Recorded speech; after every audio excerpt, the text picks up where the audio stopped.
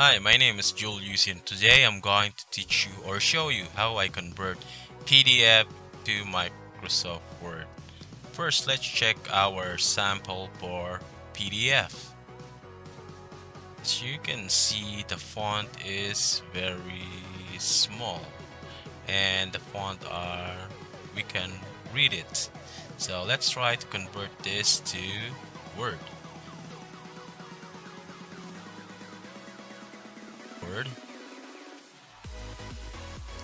Then drag the PDF on the word, not on the white space, but hover it on the top on the blue line or blue field. Drag it there. You can see a pop-up message. Just click OK. And there you go. It's converted now to a text word. This is my first sample. This is the Word. And let's see the PDF. This is the PDF and this is the Word. Let's try another sample. This one has a bigger font. So you can see it's more clear to read. Let's open a new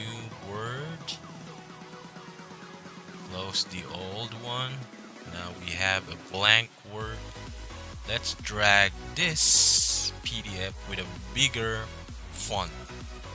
Drag it to the blue on the top upper corner and the pop-up message will show up again. Just click OK then there you go. It's now converted to text this is the text word that I just converted to a Microsoft Word from PDF and this is the PDF. There you go. And that's it. Thank you and have a wonderful, awesome day.